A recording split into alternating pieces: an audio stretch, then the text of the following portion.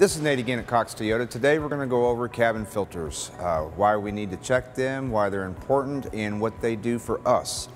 Cabin filters should be changed about every 30,000 miles or when needed.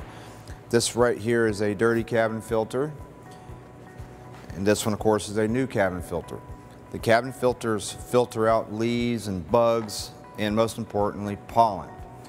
I recommend on changing them in the spring and in the winter. Uh, in spring after the pollen has fallen and in winter after the leaves has fallen because everything will get trapped down in through here near fresh air return and it will go down through the HVAC duct and get collected in the cabin filter. And once they get dirty, they lose their filtration and it can also impact the airflow of the HVAC system. They usually take about 20 minutes to change and we can schedule this with your normal service or you can just call in and speak to a service writer or my name's Nate of course and you can call it 395-0442 and we'll be able to inspect it, bring it to you, show it to you and replace if necessary.